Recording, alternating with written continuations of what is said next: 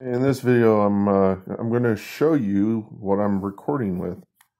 This is my first one.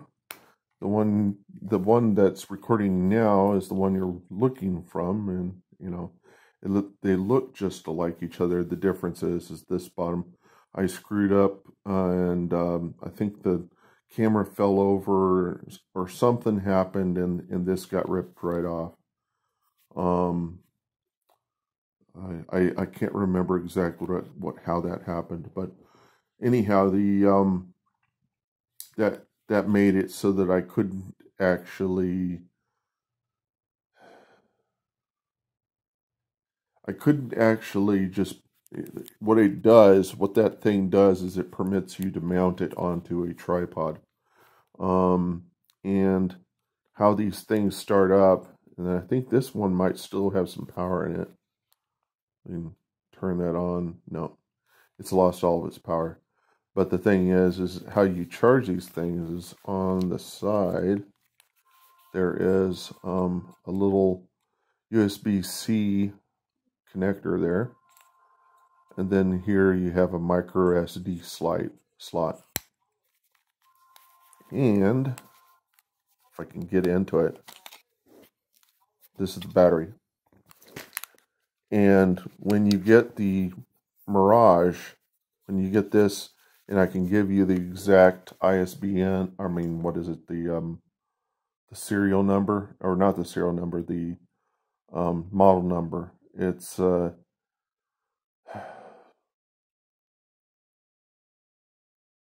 see, which one is it? It's uh ZA3A0022US. That's the um that's the one.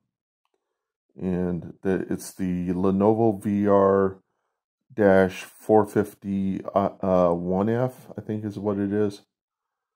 And uh, so, I mean, you could probably, you can't really see this unless I put it like point blank. You might be able to see what's actually there and um, they don't. They're not. They're no longer making these.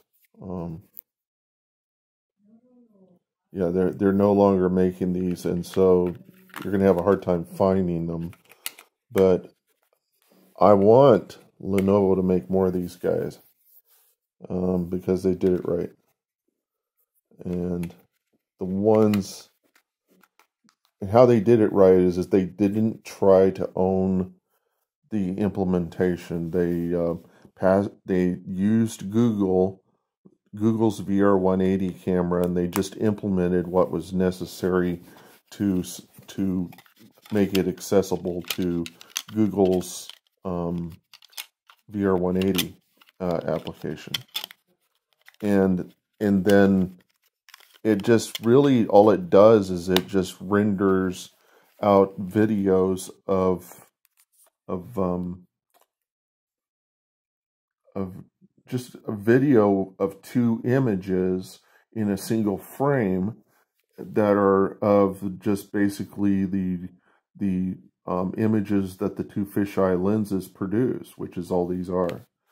And it's just, they just didn't, they knew it wasn't like groundbreaking technology. Um, that it was really just an implementation, an, an easy implementation.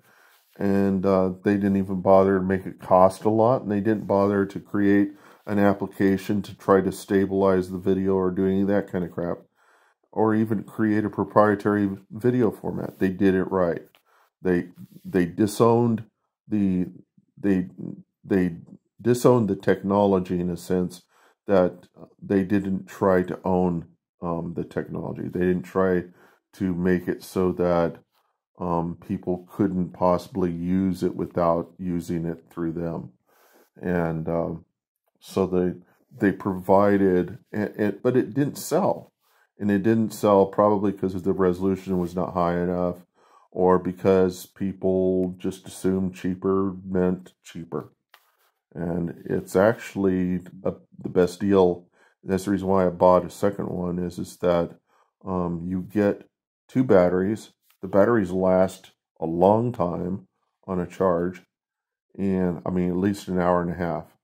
and the um, micro SD cards. You put a 32 gigabyte micro SD card. Uh, 11 or 12 minutes of VR 180 is about four gigs, so you could get about an hour's worth into one of those.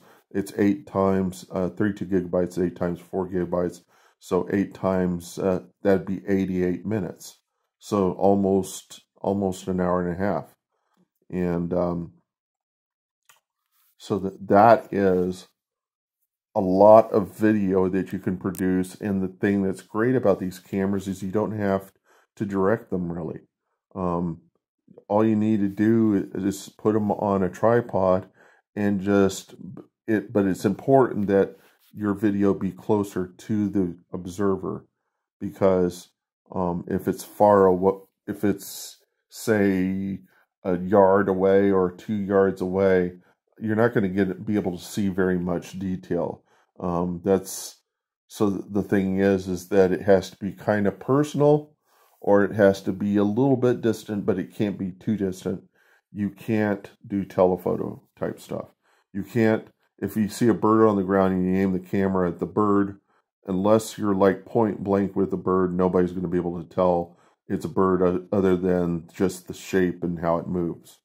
Um, it, it's really good at taking videos of statues, of big things, um, of things that are not very articulate and in detail um, unless it, it can get close up to it.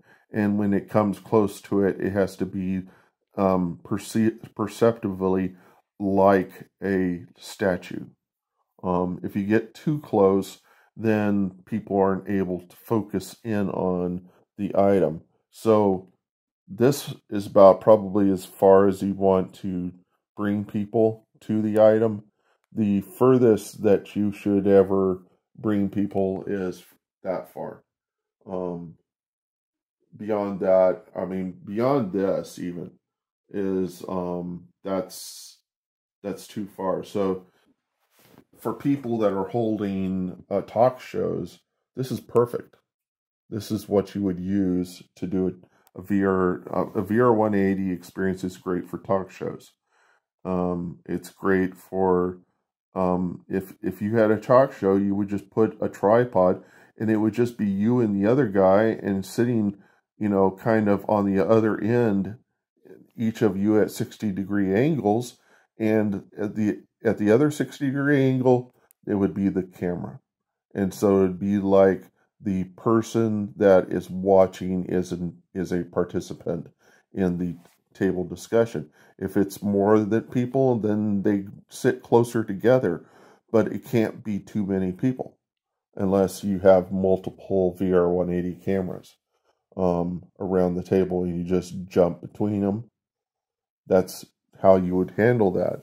But then you would start to wonder if I really need a VR 180 or if I can just handle it with a, a 2D or maybe I'll need to do some video editing work and combine the two.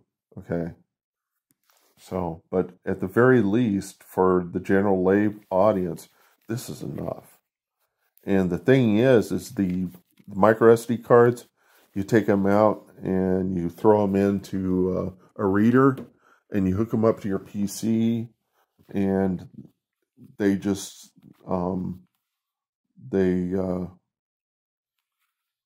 they're easy to dump. I mean, and and and all they do is pr- produce MP4 files. And how you get up on YouTube, how you get anything up on YouTube, you get into the YouTube program and you upload the MP4 file. You don't have to do anything more. And somehow Google just figures out that it's a it's immersive video, 3D video, and they put it up on the site in a way that you can see it with an Oculus Go. How do you get the video over to an Oculus Go? You can put the video into a website if you've got web software, or, or if you've got a website, or if you've got a way of putting your content into a cloud, you know, like a, Google Drive or something, then you can probably just download it through the Oculus browser into the headset and view it from there. And there are plenty of programs that will view um, VR fisheye content because that's uh, there's two kinds. There's equirectangular um, video content, which is um, requires some processing, and then there's the other, which is fisheye, which is usually just the straight resource. Most all of the cameras are at, well, all the cameras are fisheye lenses. It's just that um, for some they they do things processes like stitching to to permit um, to permit more detail or to to try to bring together the image where um, the two lenses um, differ. You know, where there's some sort of uh, I guess interpolation or something. My my computer expertise really don't add a whole lot to getting stuff off these cameras and throwing them up on YouTube. There's really not much there. Now, if you're talking about an Insta360 Evo like this guy right here, this thing's a pain in the ass.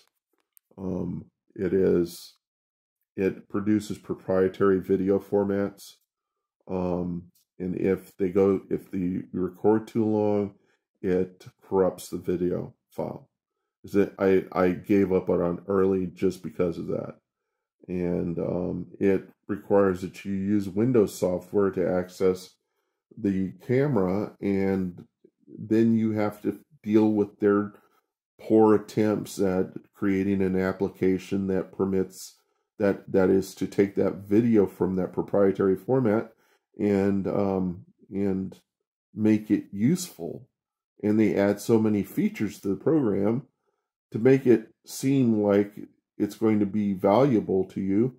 But the reality of the whole thing is is that they're they are trying to own it too much it would have been better for them to probably have taken the application than make it um, such that any camera any vr 180 camera could be using could be used with it and that this camera just produce straight MP4s, you know, and then or straight uh, or some raw VR 180 format, and then take that in and then look at their application as a way of being the studio software for all VR 180 cameras. And then that would improve the that would improve the entire market and then people would look at them as being an alternative to Adobe Premiere.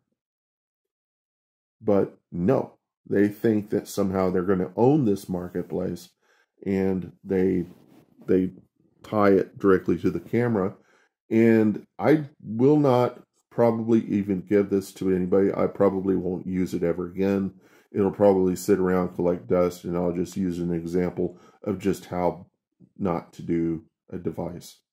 And be, mainly because I'm a Linux user and because I support programs like Blender 3D. I don't believe in using technologies that are proprietary, and I will um, I will encourage people not to ever buy such technologies.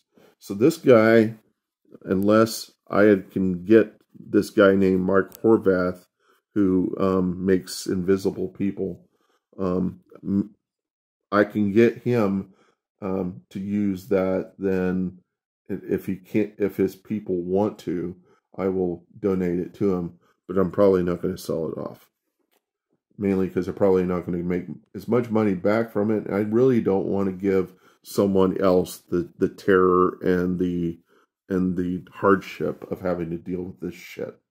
Okay, so